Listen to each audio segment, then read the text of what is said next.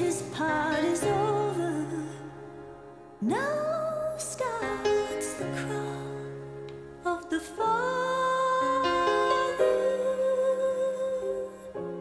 I know you have a little life in you yet. I know you have a lot of strength left. I know.